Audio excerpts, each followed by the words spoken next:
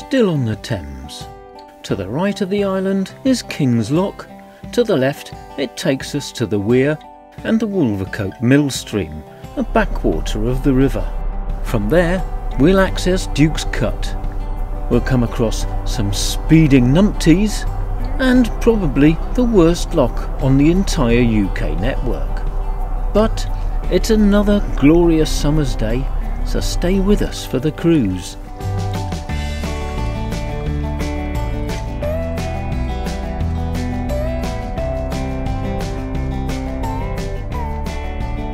Wolvercote Mill Stream veers to port, whereas the starboard turn would take us to the weir which bypasses King's Lock.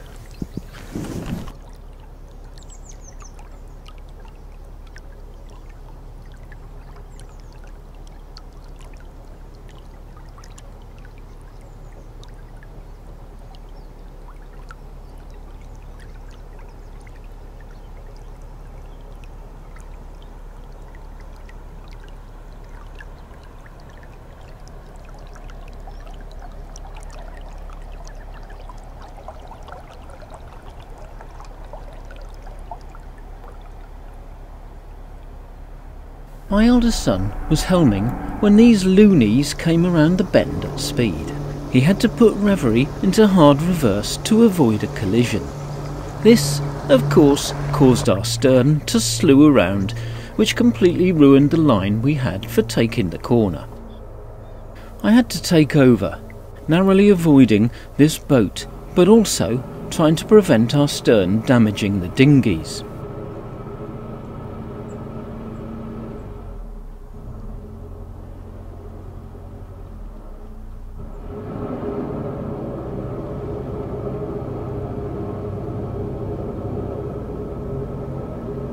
In the end, I had to reverse a fair distance to give us a line to take the corner.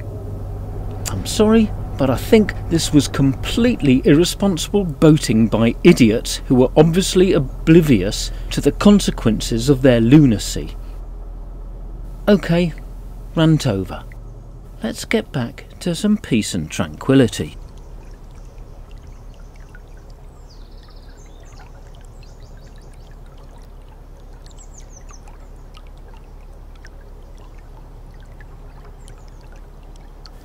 I'd seen Duke's Cut on maps. I'd cruised past it on the Oxford Canal and was curious by this 500 yard canal with an intriguing name. In the late 18th century, the land was owned by George Spencer, the fourth Duke of Marlborough. The Duke owned Wolvercote Paper Mill, which was powered by coal brought in from the Northumberland coalfields. It was loaded on ships in Newcastle, sent to London, and then loaded onto barges for the trip up the Thames to Oxford, a journey of approximately 650 miles. When the Oxford Canal was being cut, the Duke decided it would be better business to bring coal from the Warwickshire coalfields to his mill by canal, and so instructed the digging of this short connection to the Thames by utilising Wolvercote Mill Stream.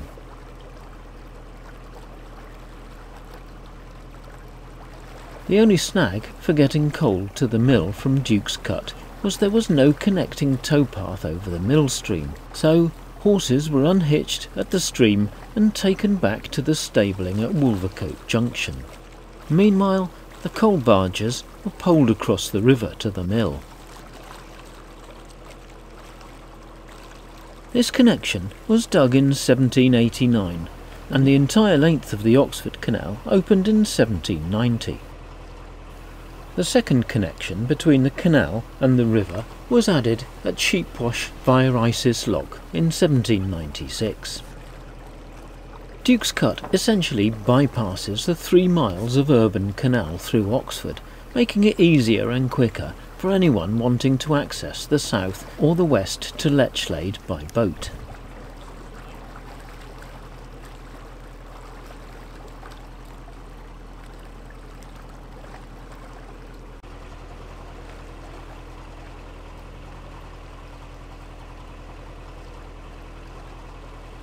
Wolvercote Mill Stream continues ahead, and we turn to port to enter Duke's Cut proper.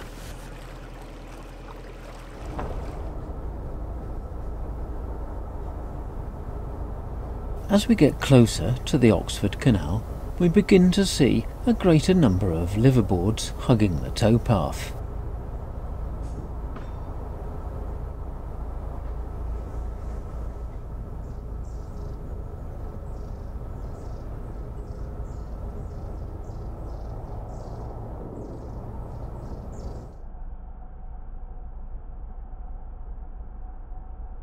The proximity of the busy A40 does intrude on the rural tranquillity a little.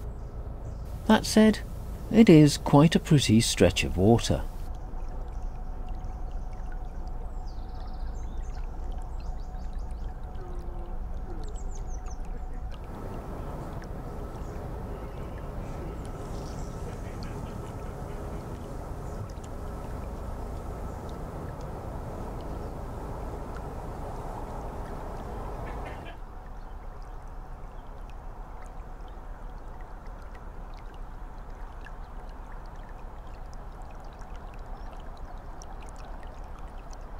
Just off to the right of the canal here is Duke's Lake, one of four reservoirs in the vicinity.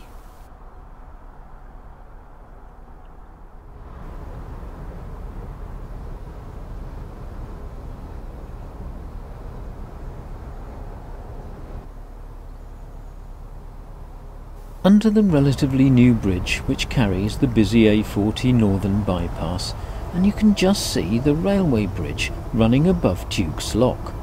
This was completed in 1852 to join Oxford and Birmingham via rail.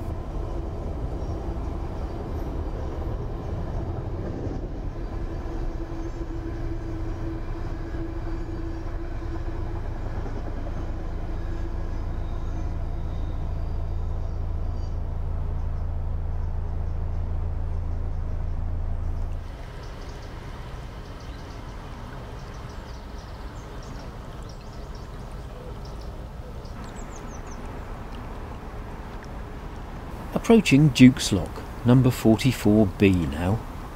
Duke's Lock 44A is actually on the Oxford Canal just to the left at Wolvercote Junction.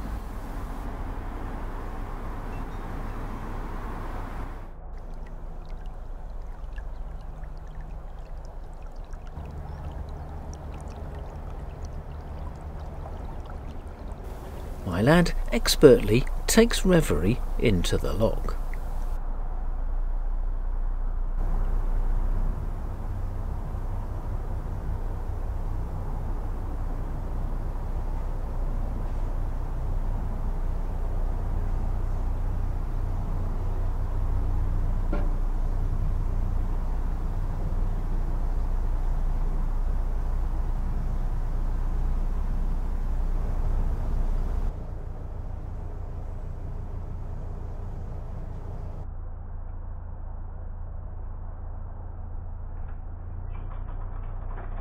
Duke's Lock is a mere 5 foot 4 drop, so hopefully we'll be through in no time and heading into Oxford.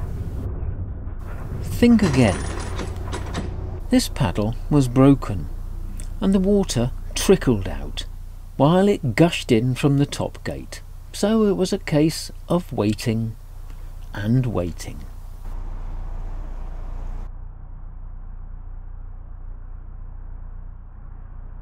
Also we noticed that the paddle gear on the top gate wouldn't stay open unless you stood there holding it open with your windlass. Begs the question, is this possibly the worst maintained lock on the system? Let me know in the comments if you've found worse.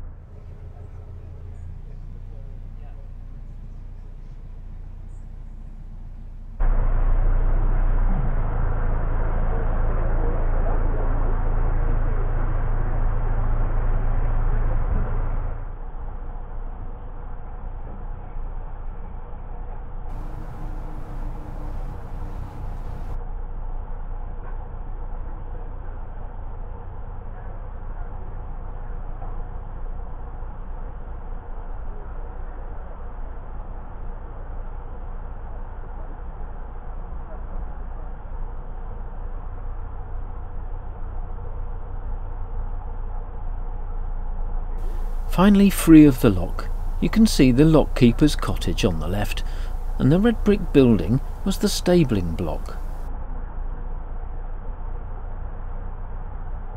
We hook a righty and travel the three miles into Oxford so my boy can get the train back to London. Thanks for watching.